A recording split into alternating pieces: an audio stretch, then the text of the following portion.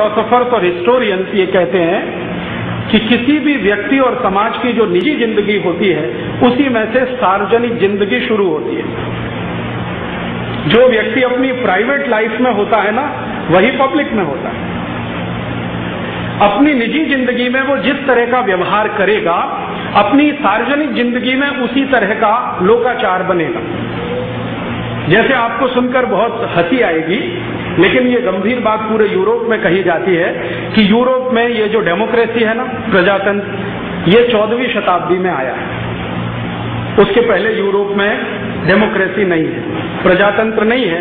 प्रजातंत्र उनके यहाँ लगभग 600 साल पहले आया।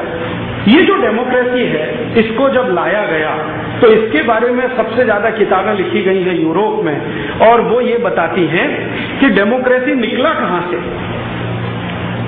तो वो कहते हैं डाइनिंग टेबल।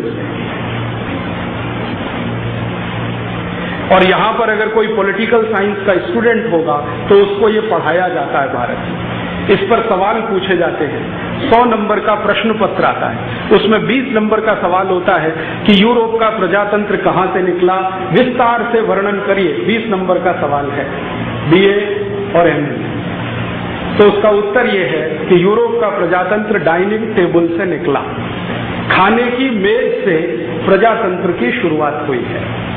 ये सारे फिलोसोफर्स और हिस्टोरियंस इसको मानते हैं। अब खाने की मेज तो निजी जीवन का हिस्सा है प्राइवेट लाइफ का हिस्सा है, लेकिन डेमोक्रेसी पब्लिक लाइफ का हिस्सा है। तो निजी जीवन में जो आप डाइनिंग टेबल पर करते हैं, वो सार्वजनिक जीवन में करने लगे तो उसी को पार्लियामेंट्री डेमोक्रेसी कहते हैं। दुर्भाग्य से हमने इसी पार्लियामेंट्री डेमोक्रेसी को बिना सोचे समझे स्वीकार किया है। गांधी जी इसके बहुत खिलाफ थे, लेकिन गांधी जी को मानने वालों ने गांधी जी की बात मानी नहीं। गांधी जी कहते थे कि अंग्रेज़ों को विदा किया है तो इनकी अंग्रेजियत को भी विदा कर दो साथ में। इस अंग्रेजियत से हमें कोई लाभ नहीं होने वाला।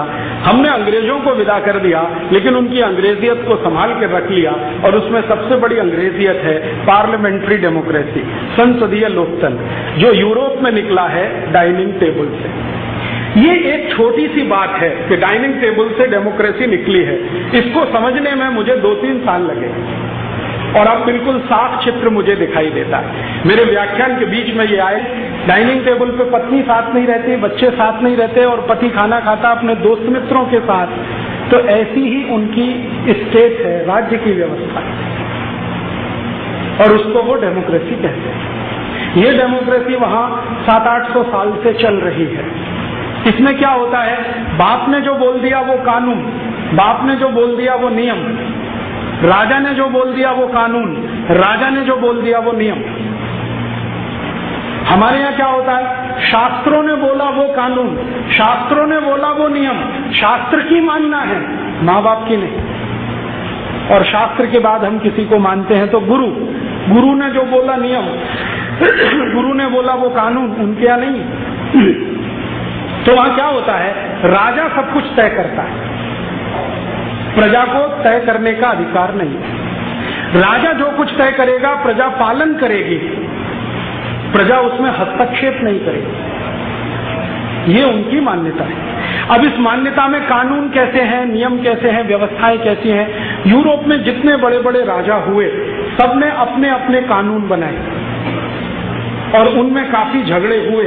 वो राजा बदलते थे, कानून बदलता था। राजा बदलता था, कानून बदलता था। राजा बदलता था, कानून बदलता था। अब हमने भी क्या किया? यूरोप की नकल करके पार्लियामेंट्री डेमोक्रेसी ले आया। यहाँ भी क्या हो रहा है? सरकार बदलती है, कानून बदलते हैं। सरकार बदलती है, कानून बदलते हैं। सरकार बदलती है, कानून बदलते हैं। एक सरकार एक कानून बनाती है, दूसरी कहती है, ये बेकार है, इसका बदल दो, दूसरा लाओ। हमारे यहाँ जो धर्म शास्त्रों के आधार पर सनातन सत्य था, जो कानून में माना जाता था वो सब हट गया। अब सीपीसी आईपीसी आरपीसी सीआरपीसी सरकार बदलती रहे, हम उसके हिसाब से चलते हैं। और वहाँ सरकार कौन चलाता है? राजा। राजा कहाँ से आएगा? जो परंपरा से है। उसका बाप राजा तो बेटा राजा। बेटे का बेटा राजा। बेटे का बेटा राजा। अब भारत में क्या हो रहा है? अम्मा प्रधानमंत्री तो बेटा प्रधानमंत्री बेटा प्रधानमंत्री तो बेटे का बेटा प्रधानमंत्री, वो प्रधानमंत्री तो आगे प्रधानमंत्री। हो रहा है कि नहीं? अब हम चिल्लाते हैं कि भारत में भाई भतीजावाद, ये तो आने ही वाला है, क्योंकि यूरोप की नकल की हमने।